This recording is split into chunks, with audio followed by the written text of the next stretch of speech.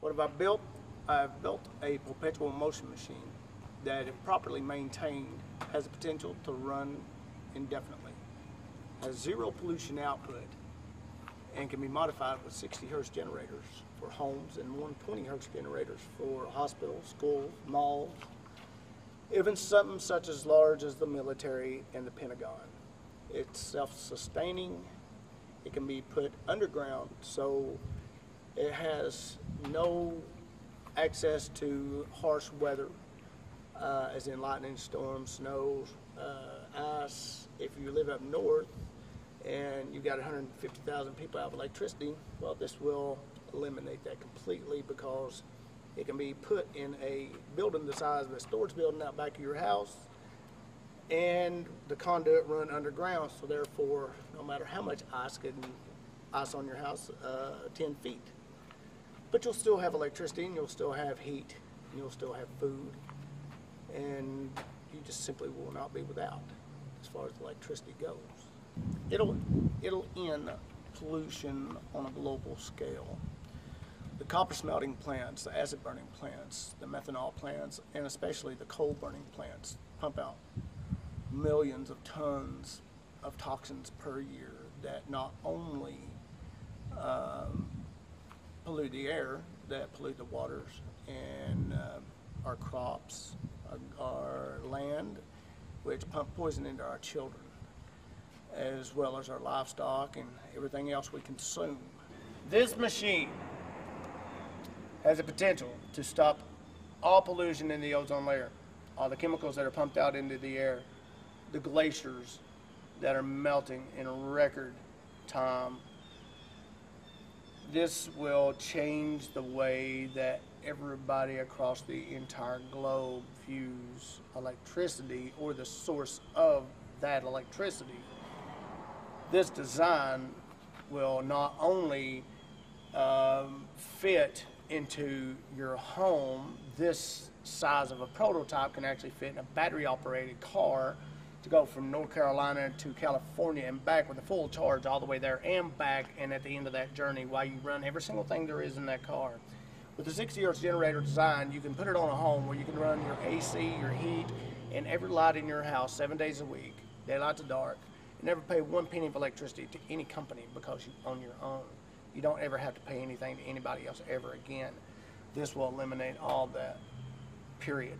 Well, I've had this idea for about 20 to 22 years, and I kept doing a little research here and there, and I got to thinking about how I would put it together wired up, if it could be possible. Now, I've seen at a friend of mine's house a not a perpetual motion machine, but a machine that is home built but still powers his house and he's not been hooked up to KUB for about 10, 15 years. And I took that design together with a design that I seen in Popular Science magazine, which is powered by a windmill with 60 hertz generators and backup batteries. I combined the two and took the gasoline motor and the windmill out of the equation and made it to where it is self-sustaining, meaning one thing runs the other, but it doesn't pull the power from it, so therefore it cannot be ever pulled down. It'll run indefinitely as long as it's the design itself is intact. You can you cannot take a circular current of power, whether it be AC or DC, and plug in anything to it because eventually it'll wear down, it'll wear out, and eventually it will stop.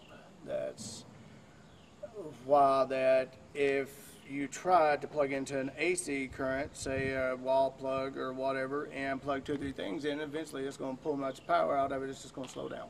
That's it. This machine is two machines in one. Uh, it's the only way it works. I designed the wiring harness that way. There's nothing you can add to it, nothing you can take away from it. It only works one way and one way only. They run together, intertwined uh, by a specific piece in the machine. And that's the only way they're connected. But the combination of both of them makes them run indefinitely. The next step is to have an investor come in to build a larger prototype that can actually power a home. And once this prototype is built and works, then it can power anything on Earth at that point. It can be modified with 160 hertz generators after that for larger uh, things such as skyscrapers. Uh, you can convert a military tank to electricity and this would run it. As long as you keep an environmentally controlled atmosphere, uh, it can, it has the potential to run forever. It has the potential to um, never be touched again.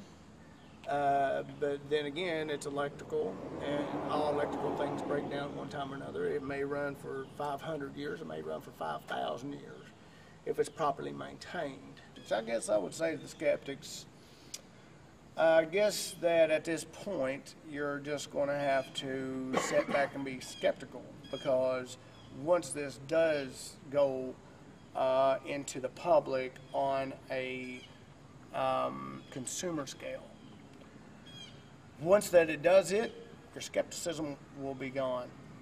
Until then, I believe that you probably don't believe that it can happen because it's never happened before. It's never happened. Uh, there's 10 million people out there trying to make a perpetual motion machine, and they've done it with magnets and this, that, and other. But this design is one of a kind. This design does not exist in the world today. This design is not in the U.S. Patent Office in Washington.